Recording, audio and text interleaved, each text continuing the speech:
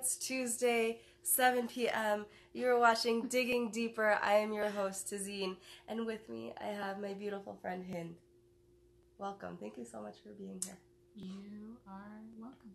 When I told Hind, I asked her, You want to be on my show? And she said, Who, me?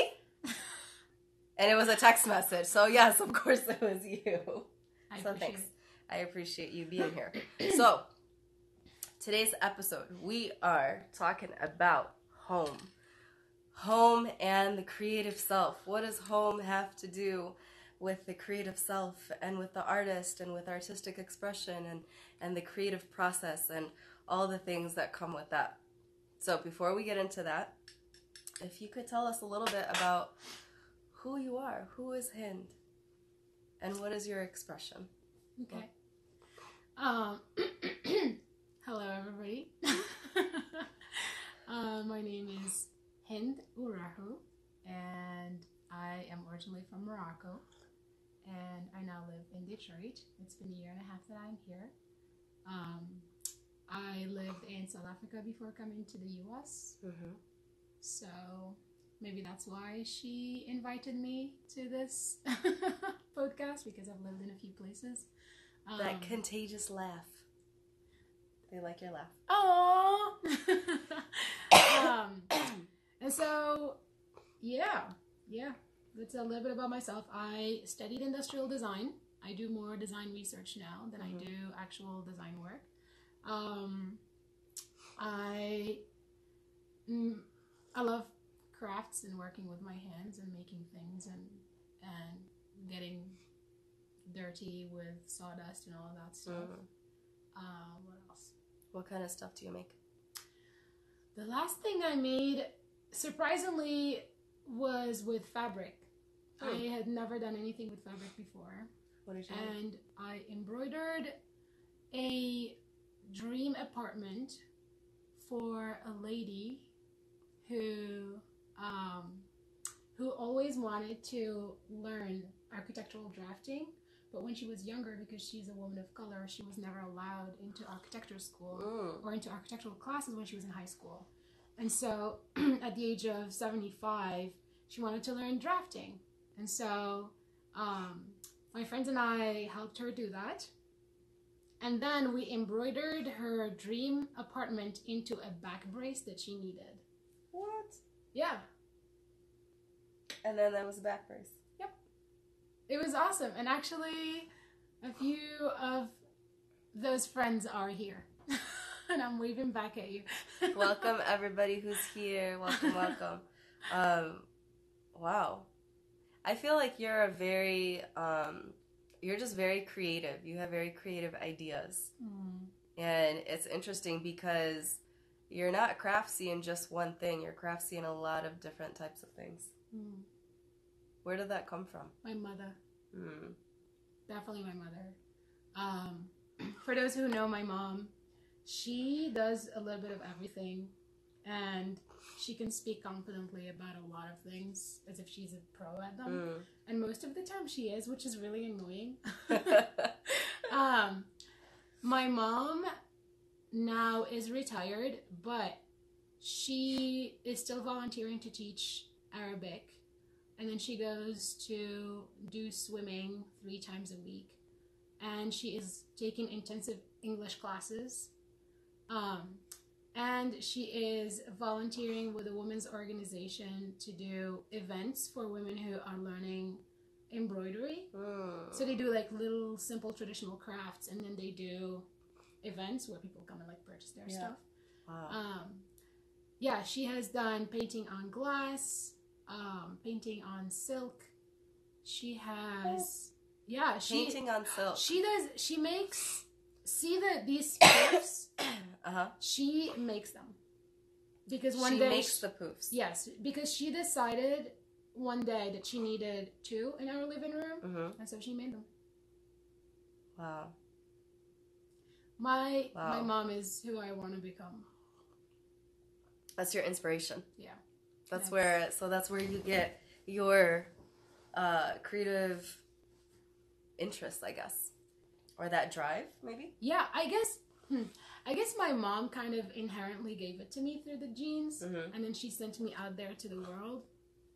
and now I feel like I am, I am a, I am a hybrid of all of the places and the people, and the ideas and, um, and the emotions that I've encountered all Mm. throughout.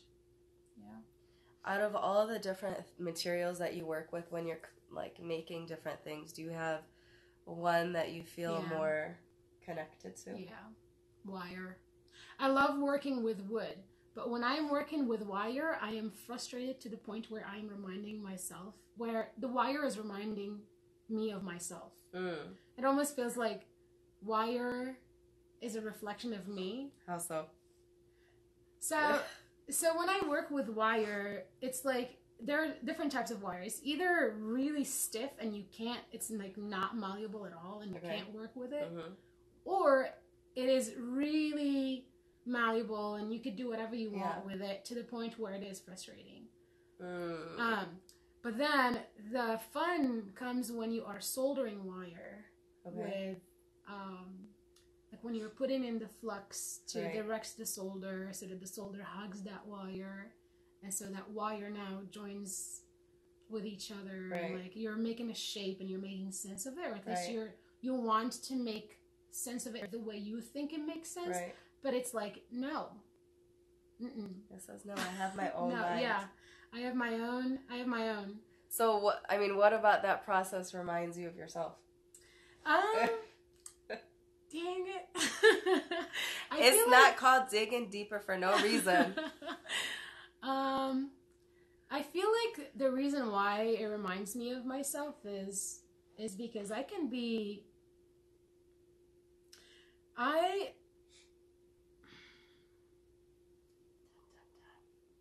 It is. Oh. Ah, Tazeen. It is what?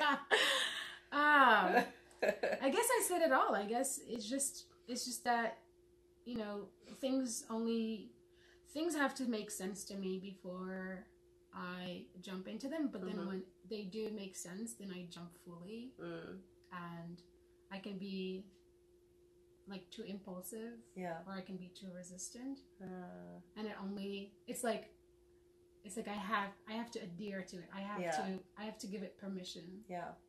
Um, Is it almost like that? Those qualities in the wire are two qualities of yourself in terms of being resistant or. Well, there's another all- actually. There's another thing because okay, and the reason why I remember this is because I was asking myself why isn't it wood? Because I Mhm. love working with wood. and you have a lot of wood. I do. I love it. I really do. And like I follow a bunch of Instagram like antique um, pages and like whatever, like Danish furniture Yeah. and all that stuff. Um, the reason why wire really makes it as opposed to wood is because wire is still correctable Hmm. and wood is kind of final. Interesting. So when I, when you make a cut in wood, in order for you to fix it, you either have to bring another piece of wood altogether, Mm-hmm. or you have to use a whole other material, which is Mm. glue. But then with wire, you can correct it, and you can Interesting. you can bring it together, and yeah, Interesting. yeah, yeah. This makes me think of a lot of things. I'm going to pause my thoughts for just a second because we have a bunch of comments. Uh, can we see the poofs? Oh yeah, yeah, Sure. yeah, yeah. God, this is gonna be quite the. We are in my house, by the way. Yes, so I have no power because of this ice storm. So we're and this here. is the poof. And here's the poof. Yeah. I mean, obviously, this is made by an actual craftsman. I'm not gonna tell my mom that I said that, but my mom makes these. They're actually very simple. They're really And I like them. They're beautiful. They have these designs here. And um, yeah. After now that I that I have done an embroidery project, Mm-hmm. this is the simplest thing to do. Wow. and all the Moroccan poofs have this type of design on them. Um, not necessarily specifically this design, but they have some kind of star shape. Mm, The whole Islamic geometry. yeah. Um, I have two of them at the house, and they're stuffed with old clothes. Which is good because they're really dense, so you can sit on them comfortably. And by the way, all of my friends from the African continent, I just want to say that power cuts do happen in America. Yes. It was really funny because she was laughing when I told her because our power.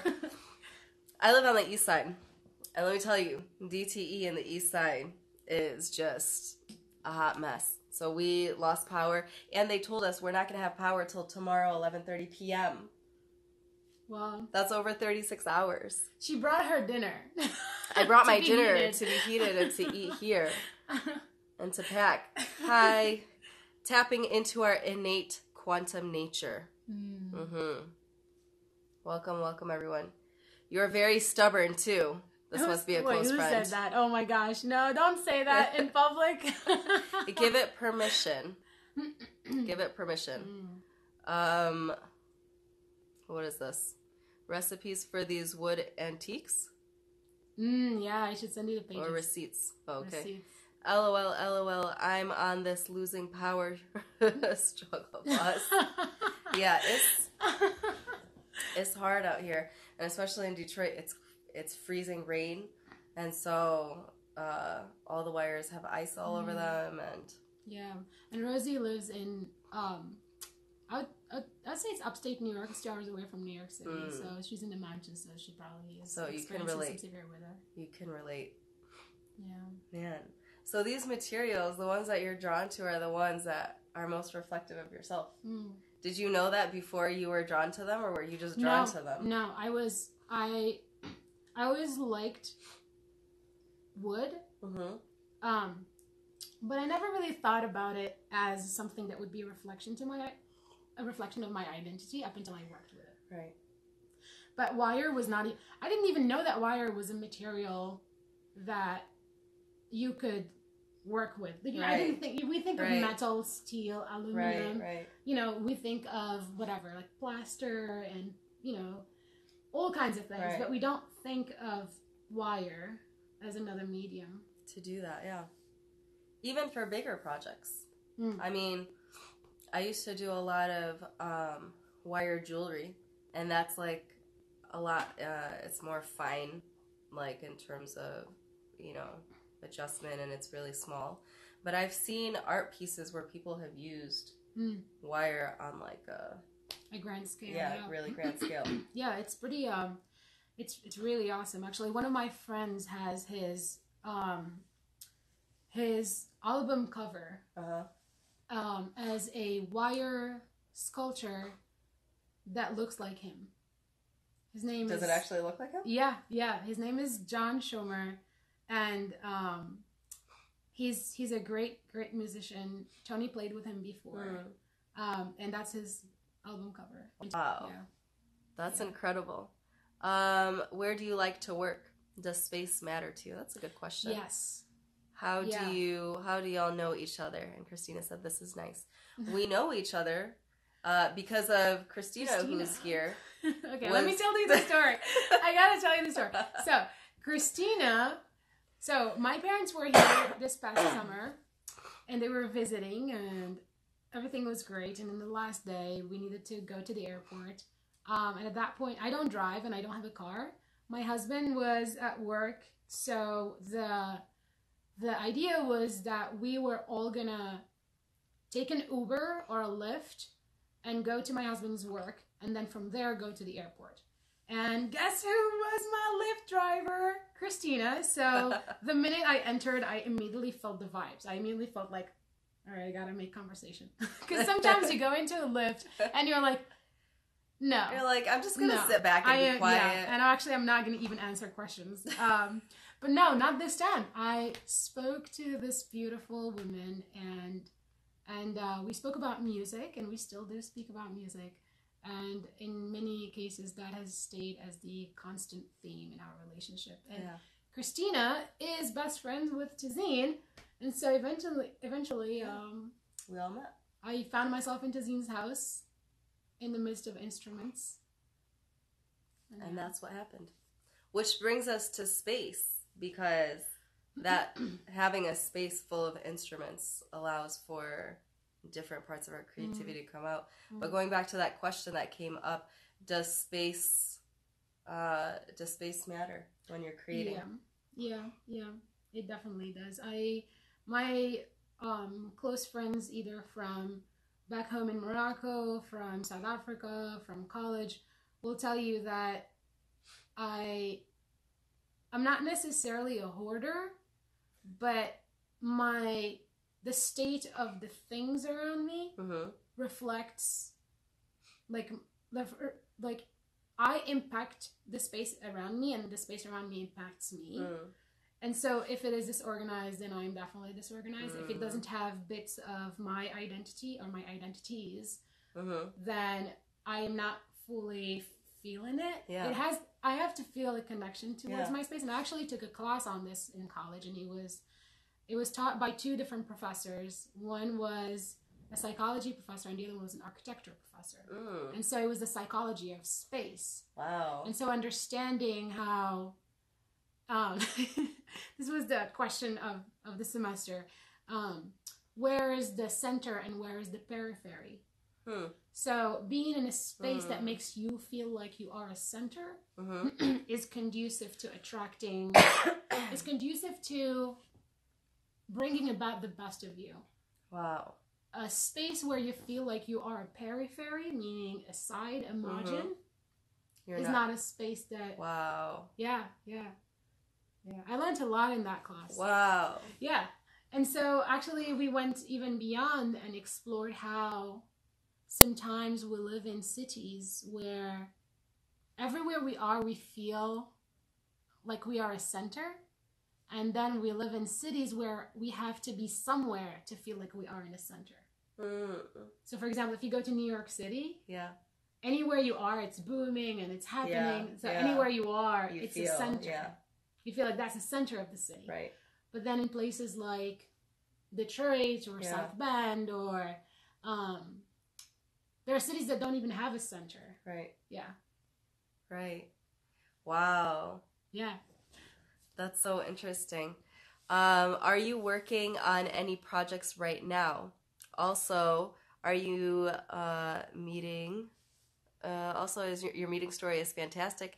I'm glad you both followed the vibes. How do you protect your creative space? What do you Mm. do to draw your creative energy, or where do you draw your creative Mm. energy? Yes, center and periphery, love it. So, what are you working on right now? And how do you protect your creative space? That's a really good question. Um, Mm. right now, the first question is really easy. Right now, I'm working on my portfolio. portfolio. so I'm actually just working on getting all of my work together into one place. Hmm. Um, and I'm going to be working on this for the next month. So, yep. Rosie has been my accountability buddy for a long, long time. Nice. We've known each other for over six years now. Wow. and it's just been my accountability buddy for a long time. Um, so that's what I'm going to be doing for the Mhm. next month. How do I protect my space? Uh, it's really funny because the first thing that came to my mind is Marie Kondo tidying. Because Tony and I, my husband and I, have been watching those episodes, and it's really funny because my mom really instilled in me a lot of those Ideals. and- habits. Yeah. So every change of season, for example, when we're bringing out warm clothes, Right. my mom is going through a tidying phase. Mm. And my Moroccan friends will also attest to this. Good weather means like deep laundry weather. Like you change like the sheets Uh, and yeah. like the the comforters have to be go out into Yeah. the sun. So you know what I mean? Like this Yeah. idea of of like bringing the life that is outside Right. into the inside Uh, and to bringing and then taking what is inside into the taking outside. Yeah. Yeah. So it's like this this interchangeable like way of of like of like of cross contaminating where Right. life is. right. um, but also we would go through like deep cleaning where we have to get up, get rid of uh, the clothes that we haven't been Mm. wearing, um, like uh, papers that we don't need anymore. Right, like why is right, that even existing? But also we lived in a in a small apartment in Morocco, and my brother and I shared uh, shared the room, so we we didn't have the Mm. space for a lot of things Right. um, and also if if if it can be given away or if it can become a hand me down to my Right, cousins or right, whatever, right. It, it would go. Um, and if it can't, then it would either be like sold to. Um, we have people going down the street who Right, collect the right, right, stuff, yeah, or whatever it is. We just would go through that process of, you know, like getting getting, Getting the old yeah out, but also revisiting all those things that, for example, if my mom wants to give a sweater out and I'm like, no, don't give it out. I love it. And she's like, well, you haven't been wearing it. Now I have to wear it. Now I actually Yeah. do wear it. Right. And so it, Mm. it like, she makes me go through the joy of wearing it. Even though, Yeah. you know, it's annoying. But Yeah. then, Yeah. so that's one way in which I protect my space. I do love, um, just purging out whatever it is that I don't need or that I don't need anymore. Um, another way I do protect my space is, and by space there's there's there are two ways to looking at space. There's a physical space, and then there's the mental space. Right. Um, and one does feed into the other. So the, for the physical space, that's how I protect it. And I read, um, there's a book actually that I read where an artist somewhere literally would put up a sign saying if it is not um, at risk of like death, if it is not like a complete emergency, Mhm. don't even ring the bell. Hmm. So no one would be like not even the mail person Would ring the bell. would be allowed to. So when she is in that space, in that physical space of creativity, Right. she would truly hibernate and she would not allow any person to enter that physical Right, space and interrupt that creativity. Interesting. Now for the mental space, I think taking breaks, like you know the Mhm. usual, Yeah. taking breaks, Yeah. having me time, being around friends, Being around friends. feed off of your creativity and I like that you mentioned the outside and the inside because it reminds me of how nature is reflective of of our of our personal spaces and what's going in uh, inside of our minds too. Because one of the things that my husband mentions to me, which um, which is related to what you're saying about this hibernation, is that the seasons are a reflection of that too. Mm, mm, So like winter is a Mhm. season of hibernation. yeah, And so it's almost like this reminder. It's not even a reminder, it's like forcing you to be in hibernation so that you can cultivate that creativity, that you can create things, that you can uh, draw inside and, and reflect. And then when the spring comes, then you Mm, can then you bloom. then you bloom and you can release that which you've Mm. created. Mm. But also going back to permission, sometimes I'm here in in this house, and usually, you know, usually I feel very, I, I feel, I feel geared towards, um, towards delving into my creative Right. energy when I am here. Right. But sometimes I just feel like no, no, no, no, no. I need to go to a cafe, and I, it needs to be, you know, a cafe with specific features. Like you know, it has to have bright colors. I'm, Right. not, I'm not going to a cafe that is dark, um, and you know, I, it needs to be a cafe where no one is. Um, I'm the only one in that cafe, and I don't want a cafe where they play loud. So I Right, become so specific about.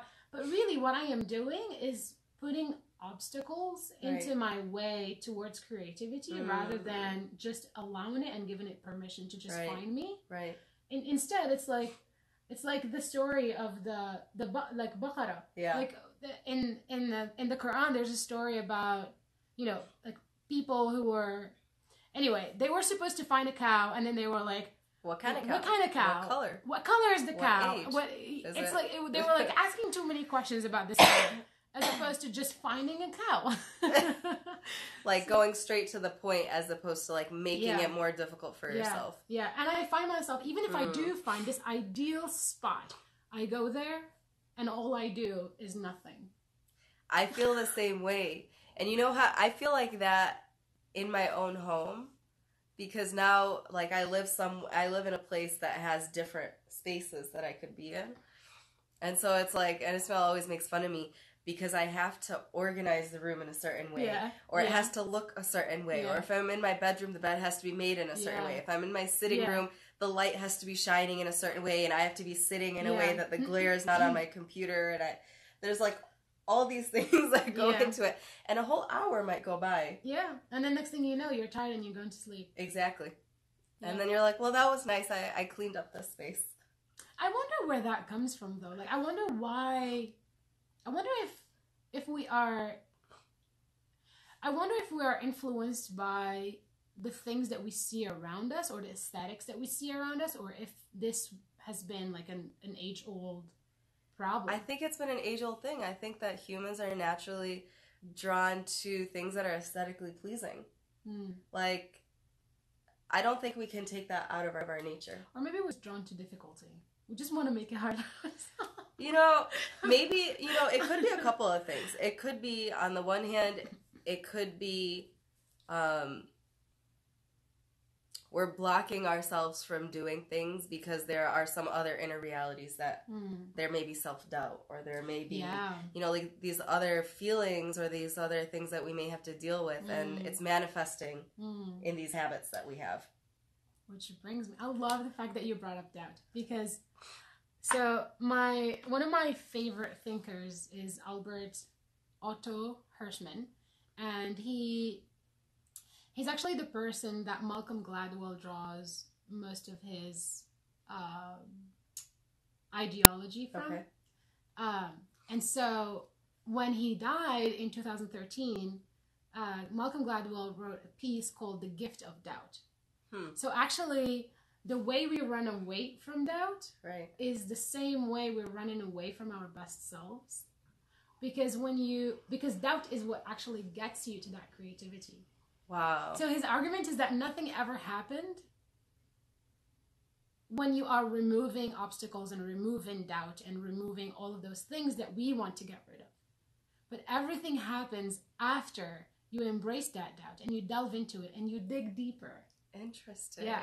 And that is when Wow. creativity happens. It's not that you like you're like you set the stage and you go into an aesthetically pleasing place. You're in a in a mentally prepared um uh, uh State, mindset and yeah it's not no that's not how that's like that's it's not it's not like it, it doesn't creativity does not work that way i can't Hmm. just say be creative and then And you then are creative yeah. no you have to go through struggle you have to go through struggle yeah this is this is truth and i feel like wow you have to go through struggle there's so much going on in my mind right now because- so much of our our culture here in America comes from its black culture, right?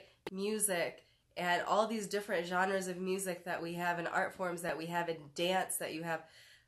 It's coming from struggle. yeah yeah yeah And because of that there's so there's like floods and floods and Mm, floods mm, of creativity and and creation. yeah it's the hibernation it's the hibernation that the struggle is like the metaphor for the hibernation Right. like you have to go through things have to germinate you have to ferment and then after that then you, then then you explode Right. then you bloom. It's the the blooming or Yeah, the coming out yeah. from it. yeah Wow. This girl This girl right here.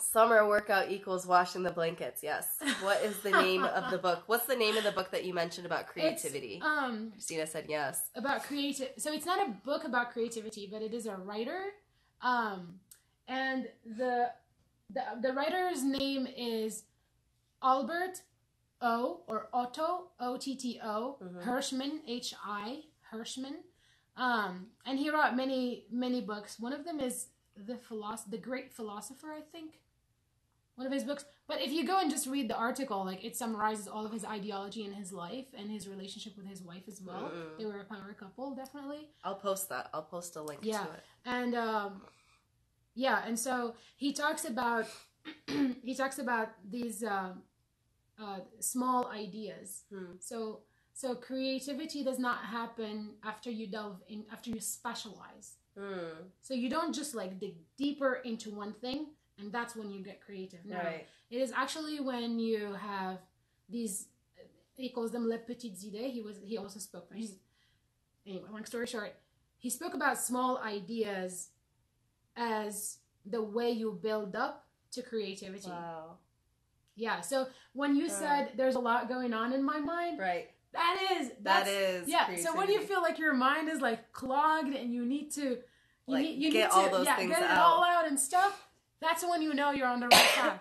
So Wow. basically, this is another way for me to tell myself, it's okay to struggle. Keep going. Something good is gonna happen. Yeah. It's it's another way for me to like chill. And that, I mean, I feel like that's what the creative process is too, right? The creative process isn't just one idea that you're moving with. And for you, if you're working with materials, you if you were just stuck on one idea, you probably wouldn't create something that's really Mm. functional or really aesthetically pleasing or or what have you.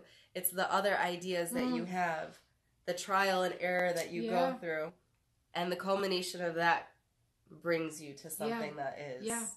you know, the final product. Mhm. There's even struggles to find a struggle to get creative, like writer's block. I mean, that goes back right to finding finding that right space or finding the thing that's going to be most conducive.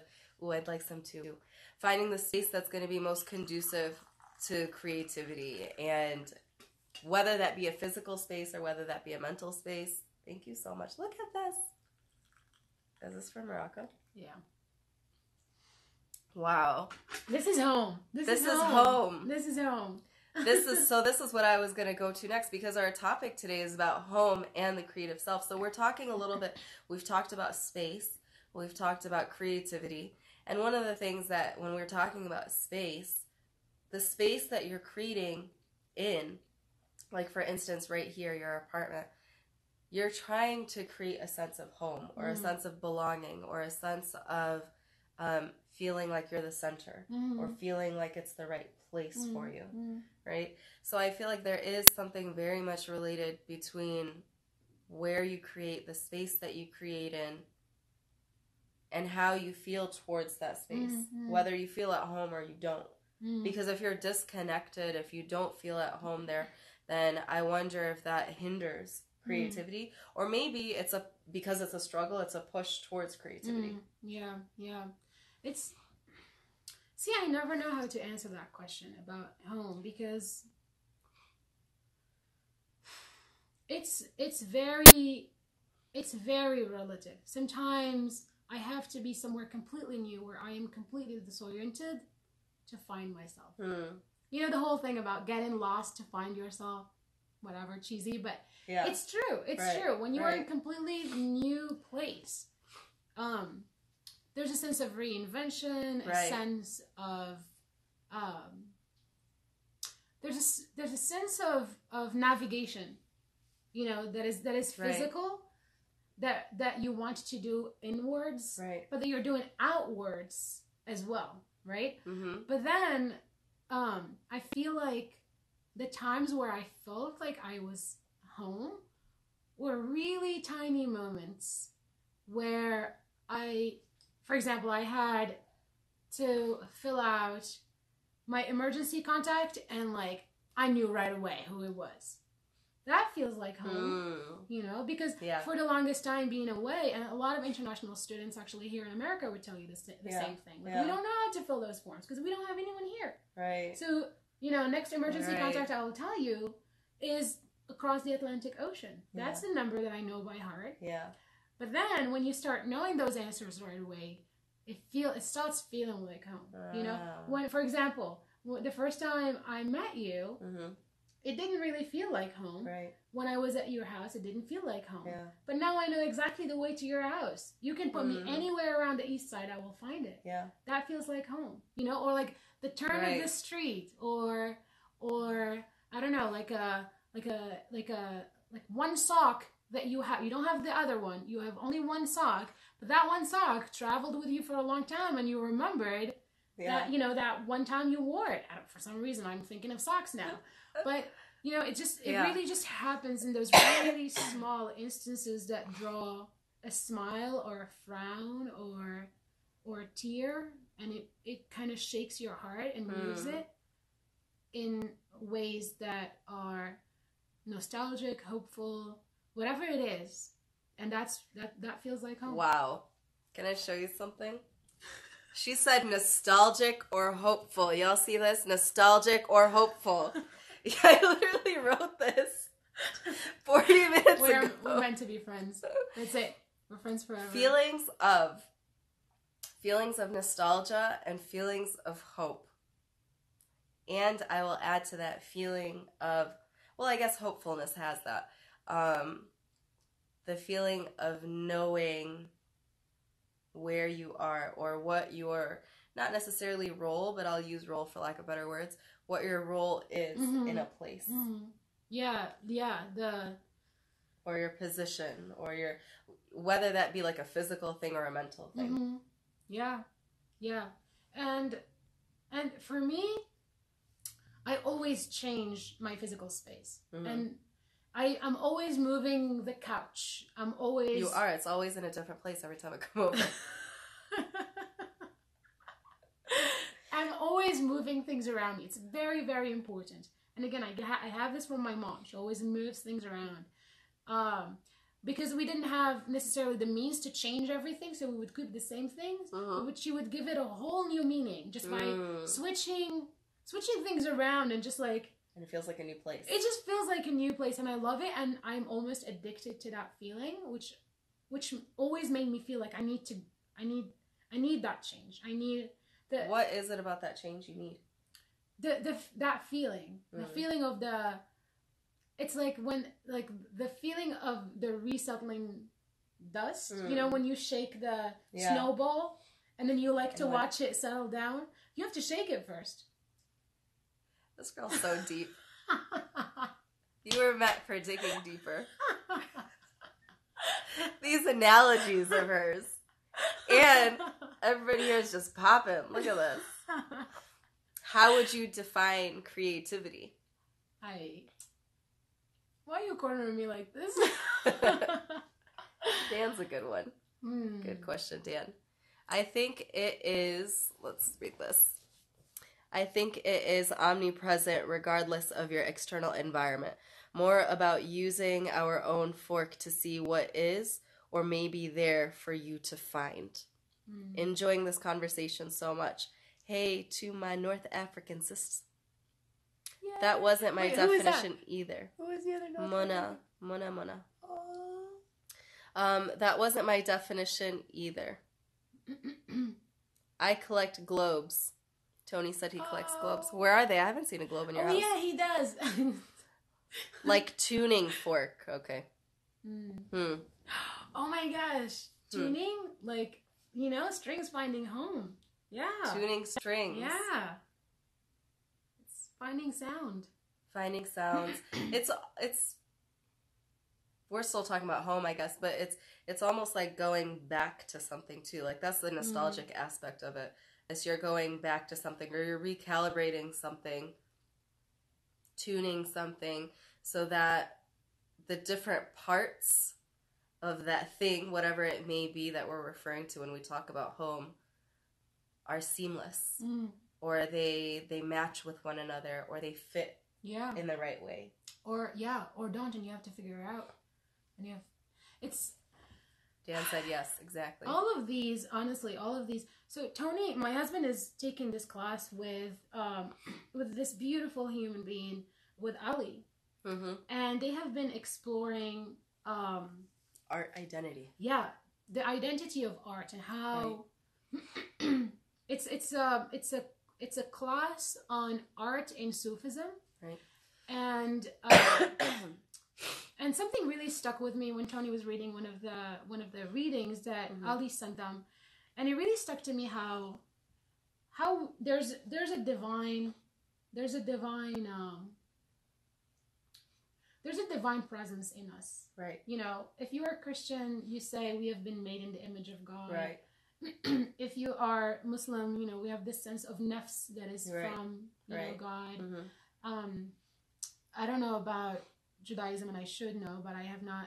I've I've never really like researched it. Yeah. But but but this idea that we are part of something divine Mhm. and we don't know how to express it, and all of these man-made ways of expressing, which is language and hmm and writing are not enough. So there's always something that is that is too divine to be captured, and that's when we explode in art Mm. expression. So it's really it's really a, a divine energy wanting to wanting find the, the divine right? Wanting to be known. to go back to find the To- familiar. mm. You said the the coming back that you just said. Yeah. So yeah. it's wanting to go back, and the way, the way, and it it will eventually go back, I guess. Yeah. But but the way that journey emancipates is Uh-huh. is is through that expression. It's through that like, okay, I'm gonna explode into sound. I'm gonna Right. explode into painting. I'm gonna Right. explode into um into make into form into shape into whatever it is. Mm-hmm. But I I'm but it's it's gonna it's, It's gonna, gonna do it.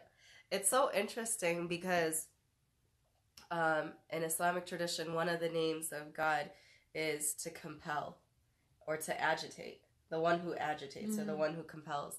And I feel like that's what art expression is, is we get compelled or we get agitated Mm. or there's this this moment of a song just came to me or an idea just came to me or wouldn't it be so cool if wouldn't it be so dope if I did this Mm. or if I created this and it just has to come Mm. out. hmm And and then afterwards, it's the human. So so it comes out, Right. and then the carrying of it, Mm-hmm. it's the that's the human part. Mm. So so, gosh, you're taking me places, huh? Um, so it's like it's like because because it can stay as an idea, and most of us have a gazillion ideas Right. a day, right? But then but then how does it come to to life? right. That's that's the human. That's the human aspect. Yeah, that's the human That's that carries true. it out. there has to be wow so there there we're saying that there's a balance between that which is divine and that which is human so to speak Mm, there's sort of this this intertwining of the two of them. Mm, and i feel like that's the same thing with nature and things that are man-made. Like there are things that are natural and then there are things that are man-made but we feel i feel like this the spaces that i'm most attracted to are ones that bring both of those elements together, Mm, mm, yeah, and again, I mean, I'm just, I'm just speaking my mind now. I, I don't know. It might be, i mean Yeah. that's what this is yeah. it's speaking your mind And you're offering me the space to do that, so thank you. you're welcome that's a space so do you feel like um wow i just got a text message power is back on yay Yay, my house is power. When we talk about home, we talked about hope, we talked about nostalgia, we talked about space. Um, what about in terms of finding the process of finding home Mm, and the process of being connected versus disconnected when it comes to home? mm, and how that affects your creative process because you have a lot of experience with this because you've moved a lot mm, and you've lived in different places mhm. so it's and i imagine each place that you live if you're spending a, a large chunk of time there it takes some time to feel connected again Mm. Yeah, yeah. it definitely does. Um, so to rephrase your question, um, you're asking about the process of finding. hmm Mm. the process of finding and how that affects your creative self and your creativity and maybe it's the process of finding or maybe it's it's that process of feeling disconnected when you move somewhere Mm. right because there's two parts of it when you move somewhere um, there's that feeling of disconnection and then hopefully connection Mm. Yeah. I don't know why, but I'm thinking of missing. Like this idea of missing. Hmm. This idea of like, I I would because this this has happened to me so many times. Like I would connect to a place. I would arrive into a place and absolutely embrace it Right. and like give my fullest to it, explore it, be there, be present for it and in it Right. and around it, and let it really like just take over me. Right. Right. right Um, and then I would crash. And that's Hmm. when I miss. That's when I start missing. That's when I start missing my mom. That's when I start missing um, Moroccan tea. That's when I start missing um, whatever, like uh, South African uh, fast food. That's when I, whatever it is, that's when I start really feeling this, um, this, this finality of never being able to go back. Like I, ne- I can never go back to South Africa and be exactly with all of the people that I want there. right You know, I'll have to be super rich and convince them to come and pay for their flights. not gonna happen anytime Right. soon anyway, Right, right? right. So, um, if I even if I go back home and my mom and my dad are both still there, right? Right. Uh, we we still live in that house, right? So home is Morocco. Home is Morocco, yes, Okay. but am I still like it's it's still not the same, you know? My Right. dad wears glasses now. He didn't used to wear glasses. It's not the same. You know, when Yeah. did that happen? There's Right. there, there and that happened when you weren't there. I was not there. I was not there. Yeah. Um, whatever it is, like you know, the first thing I do when I go back home to Morocco is I go around the kitchen. I look at all of the new utensils that my mom has, and I love cooking. So I go and look at all the new utensils, and I open the fridge. Is Mm. she is she getting new products without me knowing? you know what I mean? this feeling of like, how dare you? How dare you explore something new? Right. And so this feeling of missing home that that is so final Right. and it is so discouraging Mm. and when it get when it takes over me um it exhausts me it re- it Mm. empties me right Interesting. and it only happens after that excitement like i get so super excited about a place and i embrace it and all that stuff and then i'm like it's like this high that you have, yeah and yeah after that high, there has to be a crash. yeah and then i crash and then i give it time and then i'm like climbing up the ladder of energy Mm-hmm. again and then i'm i'm full blown exploring again. And You're a snow globe. You're literally explaining yourself as a snow globe. Like you're all excited, yeah. And then the dust settles down a little bit, and then you need Yeah, someone to and then- jolt you again. yeah. And i cut my hair. And and i and i you know it's like it's it's really really odd. But but i it's really it, and i'm just realizing it now that it's really been a cycle because i can pinpoint moments of of that missing Mm, where different people have been, most recently my husband has been there living that with me right? right.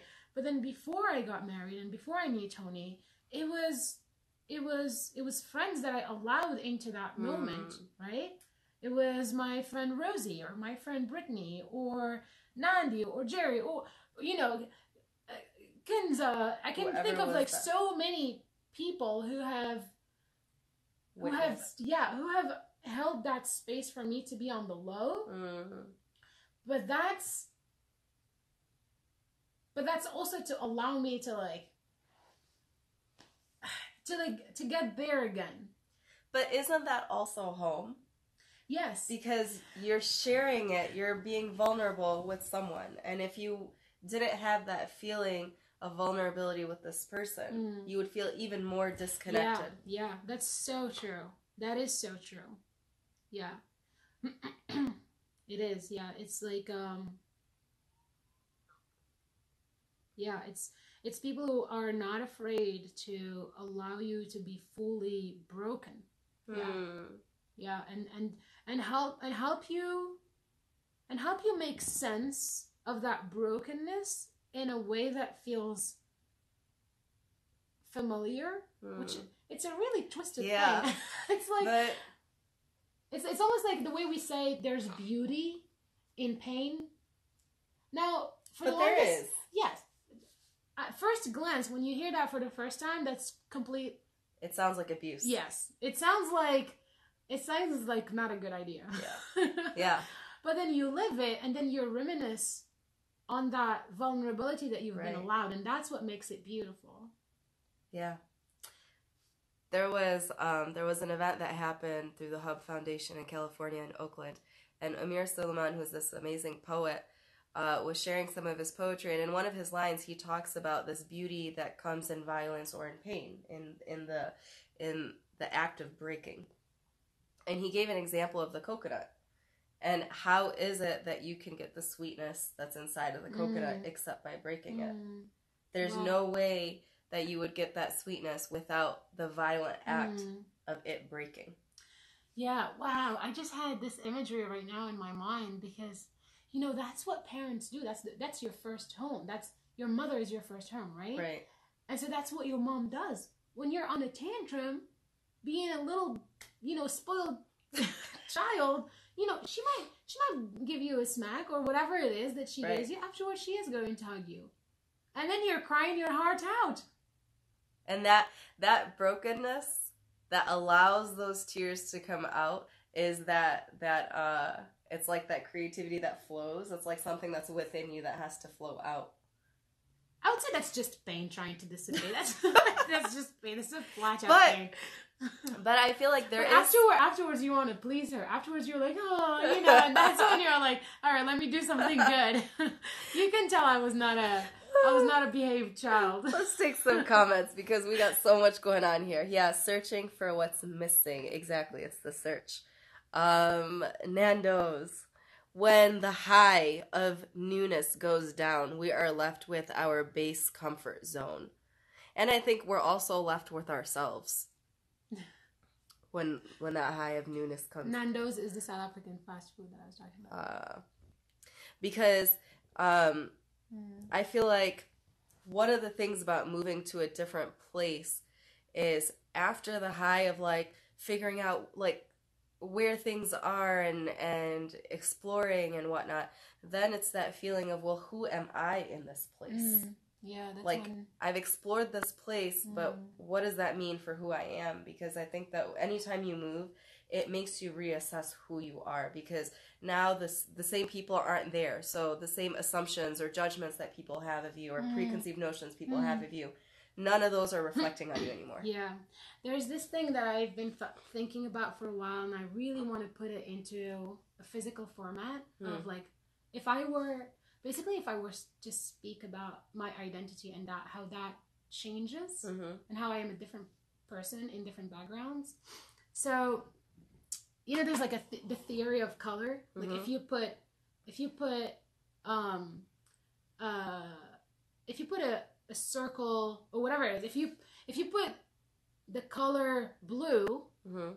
on a yellow background, it's gonna be very different than if you put the exact same shape of blue Mm-hmm. on a red background, Right, right? And that blue is not gonna look the same anymore. right. It's it's, the It's the exact same, same, color. blue, yeah, right? yeah. Now, as we move around places, imagine that background is yellow, but it is a little transparent. Like you know, it's a Mm, transparent plastic sheet that is yellow. interesting. And then you add another background, which is a transparent sheet of red. You put Uh, the two of them together, they are a different background, right, but right. you're still the same blue. You know what I mean? wow. And I'm trying to capture this. If any, if anyone can help me do this, I would be extremely grateful. I've been trying to capture this because those backgrounds also have smells. They have textures. Right, right. So how do you really like these textures? Sometimes they can be felt through Mhm. other backgrounds. Right. Sometimes they are blocked Wow. by backgrounds, and it's like, Mm, but you're still the same. But you're really not. but you're really not. No. because each time you've added a different layer Mm. you're going to look a little because you're reflecting those colors Yeah, yeah, yeah. So. Mm. So is it is it translucent but stiff? So I can't I can't feel the softness of the yellow. Mhm. Is it is it translucent and and like malleable? So so even if I am against a soft background, the background behind it is rough, and so I can still feel those remnants Ah. of roughness and and uh, and aggression. right So you do you see the image? Yeah, yeah. It's so hard to capture. i know you're going to the fact that you've been thinking about it for a while and when it comes out it's going to be amazing i know that already um noni says i felt that way when i went home for the first time after months so my sister just moved out Mm. And Hey, I, Noni. And I would say the same. I feel like, you know, I moved out a while ago. It's been almost 10 years. But every time my mom's home, she lives like 40 minutes away from me, but my mom's home is still home to me. But if you ask me where certain things are, they're always changing. So I don't always Mm. know where things are. Yeah. And I get annoyed. I'm like, this drawer used to have this, like, the peeler used to be in this drawer and it's not here Yeah. anymore. Yeah. Or like, Yeah. the cheese cutter used to be here and it's not Mm. here anymore. and and you know what? I do that with my place, right? But I don't allow my my parents to do it with their place. I don't Mm. allow those. It's like I have to go and rediscover and allow. Okay, it's fine. It's fine for you. It's fine for you, dear knife, to live in this drawer. You know, it's almost like I have to give it. Per- I have to be the the, permission. center. You Yeah. have to be the center Yeah. of it. Yeah. But you, a you have to be the center of it, but it's also attached to that nostalgic feeling Mm. because your home, if it's attached to that feeling of nostalgia, if something has changed, then the thing that you've been feeling nostalgic to, or the thing that you've been missing, is not there Yeah. anymore. Yeah. Or it's not the same anymore. Yeah. Oh, Liam is here. Look at Hello. this. So many people. Yeah. Historically, I feel that uh, that way when I'm leaving the people I care about. Yeah, Mm-hmm. definitely. Because I would say people are we attach home to people, for sure. I feel that way so often with ideas, places, and people. I struggle with consistency after the high of newness goes down. Mm. Look, Ismail said power is back on. Thanks, babe. That's that's her husband. Instantaneous feedback. Your Mm. comment is spot on, Christina. Going to uh going to get the light landing from a flight. What? Dynamics. what? Are you guys talking to each other on this? Is like I feel like our husbands are speaking a different so language. actually, there's a story behind instantaneous feedback. So Tony and I were in uh, Mauritius, and we were, we were visiting friends there, and we were talking about our childhood. And Tony was, I think he was the only non-African in the room, and we were all having so much nostalgia about the way our parents used to correct us, Mm, right? okay. And so, so many of, of us could relate to our parents looking around them, finding something and throwing it at you, right? And so, obviously, it's not like a hard metal or like a, a vase or, you know, you're not gonna, it's a pillow Something or light. what, a slipper, whatever. You know? And so, this one person who, this was a, all of them are involved in uh, coaching and lead and self leadership work, and they were like, "That's like instantaneous feedback." it's like you do something and you instantaneously Right know, away. yeah. And so we were all nostalgic to this painful experience that we shouldn't be. You know what's crazy? This is like on a whole different tangent now because that painful experience, even though it's not that painful of an Yeah, experience, right? yeah. But it's that nostalgia to something that was um, like a regular part of your home or a regular part of like your life at that time. And it's so interesting that because this is also this is about to be, you know, going down a different path altogether. When it comes to abuse or when it comes to the types of uh, negative patterns that we're attracted to in other people, if we've come from households that are abusive or if we've come from situations or like relationships in which there's been a pattern, Mhm. we're so used to it that it becomes home, Mm, unfortunately. yeah. And we have to disconnect ourselves from it yeah, yeah. so that it's not home because Yeah. that feeling of nostalgia can be linked to something that is positive and affirming or it could be linked to something that's really destructive. Yeah, yeah. um, the dynamics of one word answers and the depth and texture you were talking about lol uh, mom says I change things around. Oh, my mom is watching. Hey, mom. Uh, I change things around so that you can keep coming back and get excited to find new things in the house. So she knows. So she they does. Know. They oh my do gosh. Christina said, LOL, Molly. I love that your mom is responding. Question Do you use art to get closer to home? Love hearing about identity and dislocation and home. Think this would be something at Deandra and at um, Tayan. Would be interested in. Mm, yeah. Mom said, So you can learn to live with change, Betty. Mm. Betty means daughter. I, I, I like that question because when I left when I left Morocco, I did not like traditional kaftans, like the traditional Mhm. clothing. I I I wanted to be like you know like I wanted the modern and Right. the and the I didn't want anything that was relating relating me back to Morocco. I leave Morocco and that's all I think about Hmm. all of a sudden I'm like, I'm proud. Do you know about the centuries old tradition of wearing kaftan? Do you know about tea? Tea coming Yeah. from China? No, it came from Morocco. You know, like things that are like really, like really nonsensical.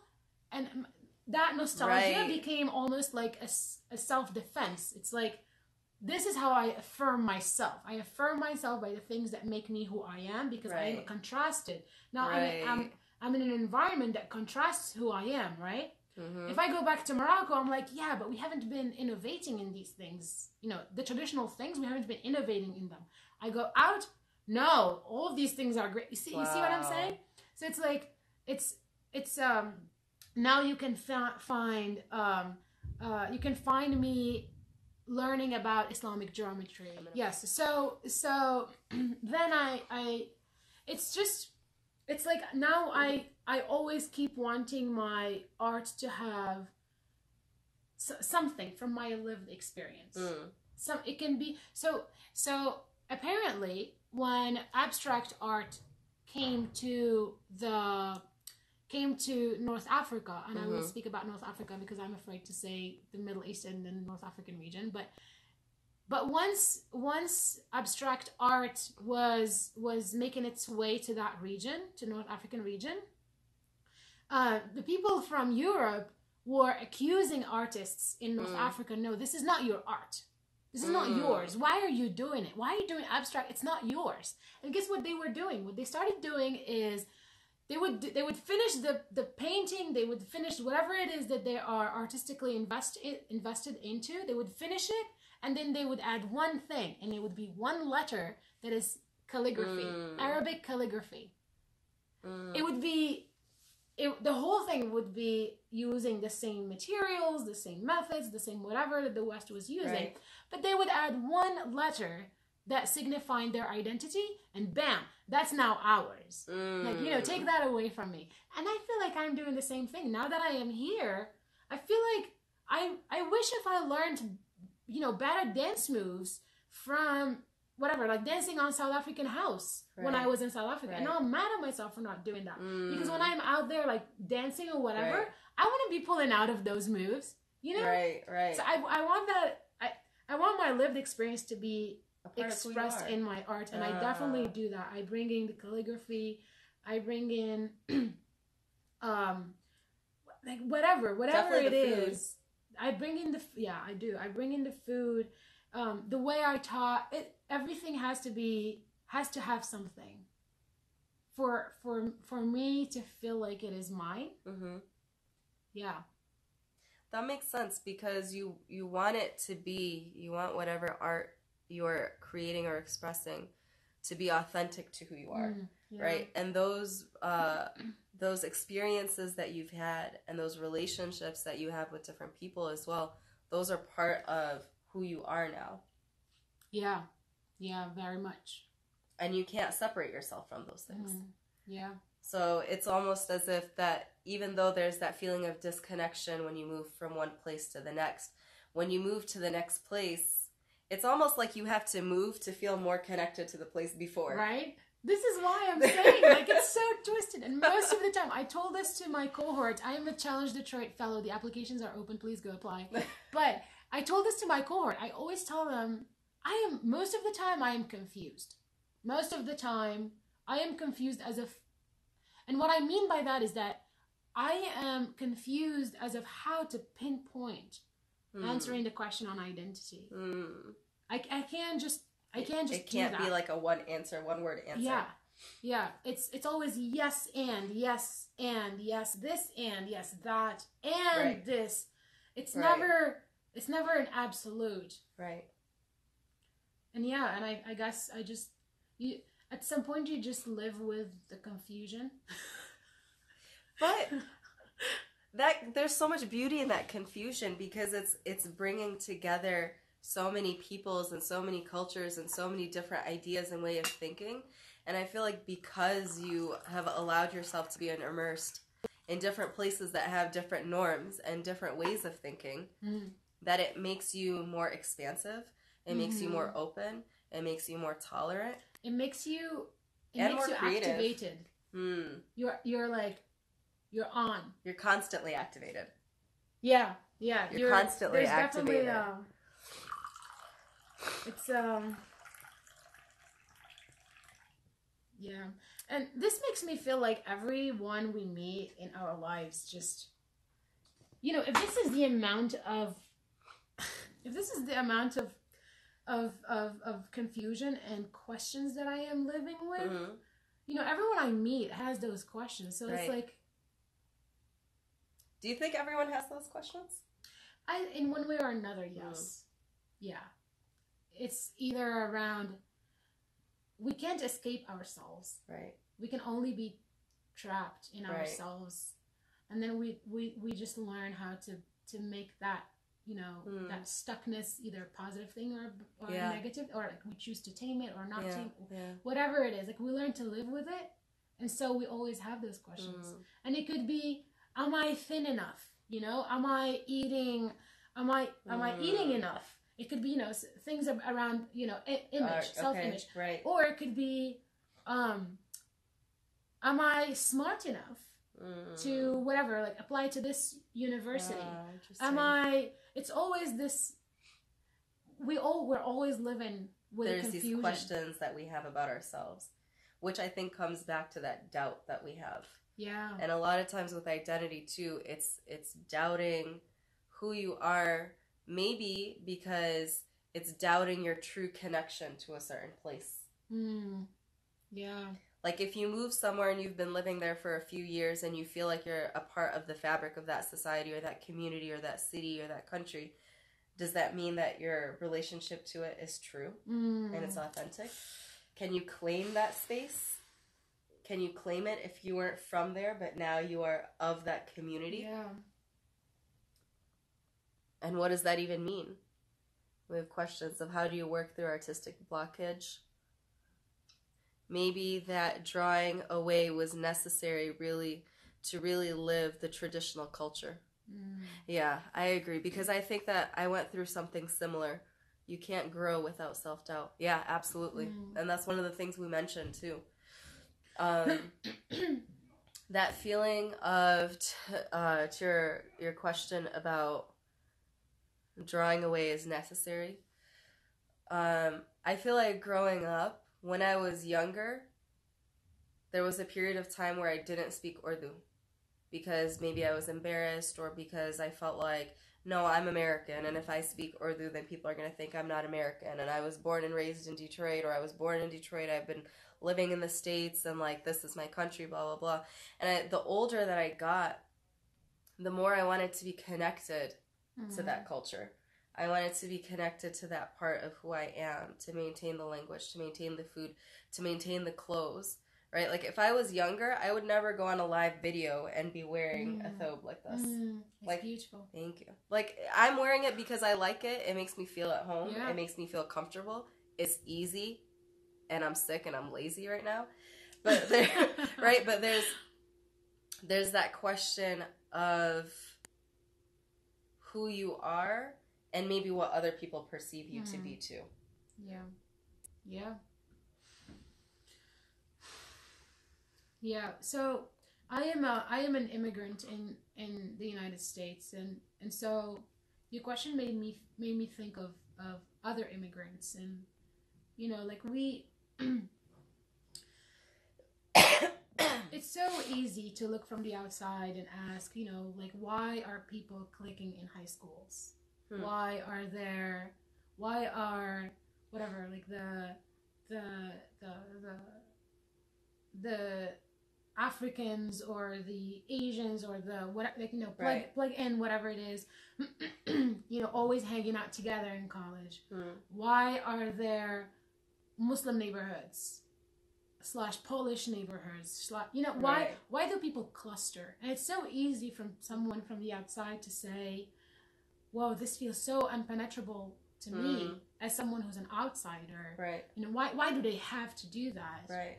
um and i've i'm definitely guilty of it too Mm. like the this but then it's uncomfortable when you are outside Mm. right and it's like this wanting going back to the center wanting to be at the center Right. at that point you don't understand the social cues Right. you understand you don't understand the spatial cues Right. so you're not at the center Mm. um and so it really is making me feel like you know like immigrant populations and um the you know like how how do we engage those margins Right.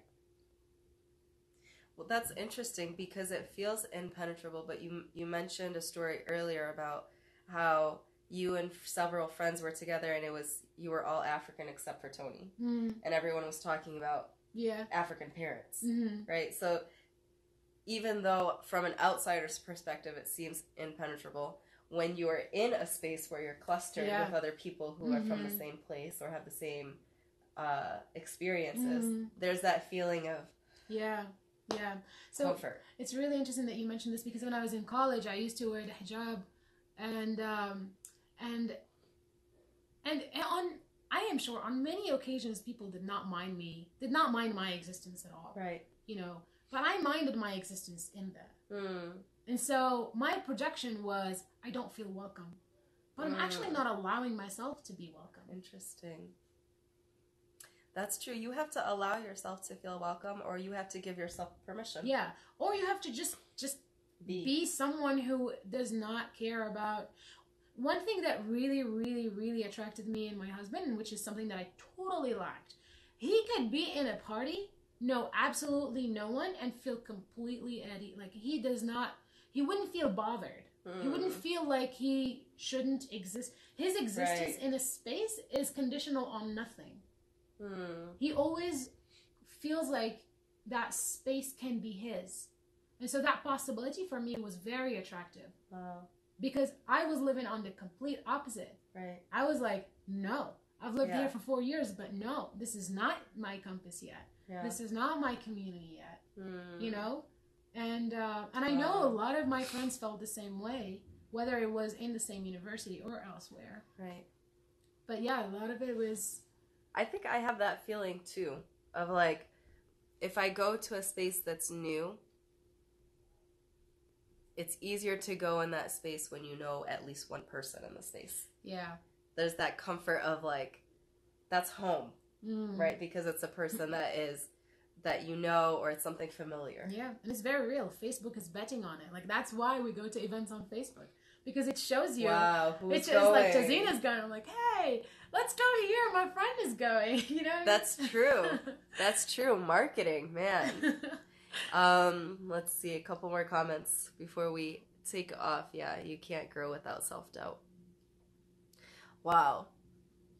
Normally these episodes are only an hour, and we've gone over an hour, and it just flew by. and there's so many people commenting. And It's great. Thank you guys so much for being I here. I am extremely grateful for all of your questions and comments and contributions and and uh, allowing me to express myself and be um, at home with you. Mm. And um, And I And I- definitely feel at home here. Aw. And I and I, I value you. I value the fact that you have shown up, whether I know you or not. I, I'm very grateful that you've allowed me this moment. To feel at home, wow. To feel at home with people online. Who would have thought? Who would have thunk that? Dang it! Now that you put it that way. yeah, it's great because you've got people here who are, from all over the world, Yeah. right? And are able to to connect with one another yeah. in this central space. Great conversation. Yeah. Is there anything that you would like to share with the audience um, of your art and what you create? Um, I actually thought of a piece right before we started recording this. I was not gonna share anything. I have a thing against sharing my my writing when it is an audience that doesn't always understand what I'm saying. But I will do this for the hope that a Moroccan will hear it one day. Uh, while while listening to your podcast. And this is a piece that I had written on May 7th, 2015. And uh, and it was the time when I finally felt like it is me to wear curly hair. Hmm. That I, when I was seeing myself in the mirror, it looked like me.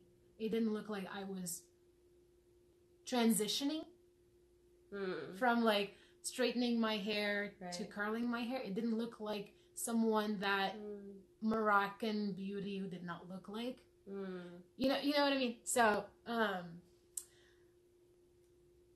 so this piece is about is for women, for Moroccan women out there, um, and their curly hair. I love it. I'm gonna get out of this scene. I'm gonna let it be just you. oh gosh.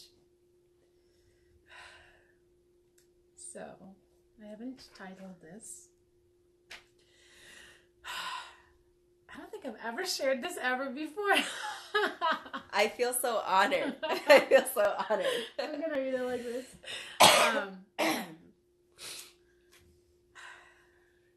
نهار يطيح الحجاب ويحشم الزين يطيح معاه مول الهيبة والشأن وسليه ماتوا تيه الرجلة في خراس الشعر المسدول ما يلقى الطريق المعبدة غير بقانون من مولاته فايت ضايع فيه طارق بن زياد وابن خلدون والمنصور وذهيباته موجة تودي سيد السلاطن الموجة. الأولى فيها الرحمة والثانية تحلف يا هي في الدنيا يا نجاته. فينك يا عيشة مولات البحور؟ وفينك يا للا الفهرية؟ وفينك انتي يا بنت اليوم؟ تاجكم من نخوة عوضات حجيراته من زمان والناظر في خراسكم مبهور احتج احتج الاستعمار وخلى في رجالاتكم آثاراته. عقدهم. عقدهم بقلة اللوم وكثرة الفهامة ونساهم في زمانات جدودنا اللي فاتوا. وولات البنية يا باهية بحرير تفكرهم في اللي مور البحر يا شعرها شعكاتو حرري راسك من قصة زين ماشي ديالك وانتي ماشي ديالته بلاش عليك عذاب الليل وعذاب النهار. تالفة في شعرك الزغبي تعز عليك الفرحة. تعز عليك الفرحة فيه تطفى بالتسراح ومعناته. حرري راسك من هدرة اللي ما عرف قيمة الموج وكيف داك الضحك على خدك واتاتو. الزين ماشي قصة وحدة. يختلف فيه المعنى يحير فيه العالم وينسى الشاعر في كلماته. شعرك ثورة. تحنت الرجال ملحون يمختر جلايل محجب أولى معري شعرك بخراس وعز ما تفخر به غير لله ومولاته I like the last part. What did you say, Shadik Thoda? Yeah, شعرك Wow. ثورة Your hair is Yeah. a revolution Wow. Could you give like little snippets to people? Um. So this is just talking about waves and curls and how, if you're really really seeking beauty, it is beauty doesn't have one story, Hmm. and that, and that, and that you can allow others to, to be moved by that by those waves Hmm. and to get lost in those curls Wow. and that that is another story of beauty in itself right. and that and that your curls are um are like pearls on the crown that you want to Yeah, wear I saw that. and it's it's I don't, I don't know Can it's you read like that line again about the um yeah yeah um تاجكم النخوة عوضة حجراته Hmm. So it's like your your self esteem and Mm. your education and your self worth is those those those precious rocks that you can have on your uh, on your crown.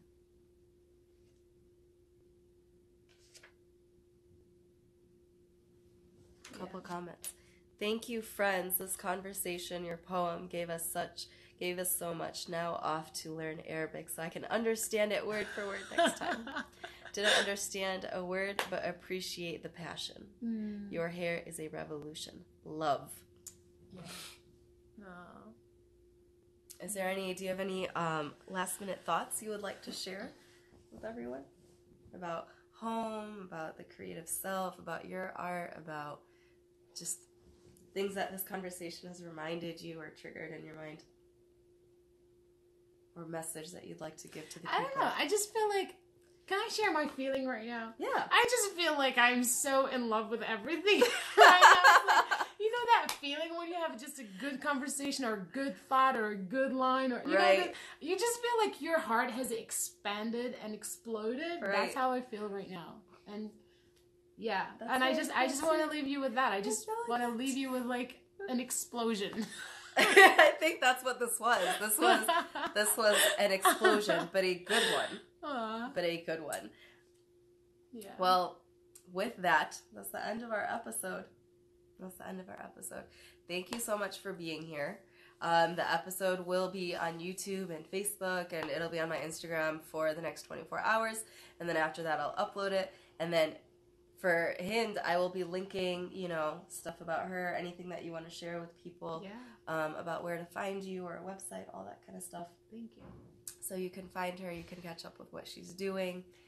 And with that, that's another episode. I will see you guys next week.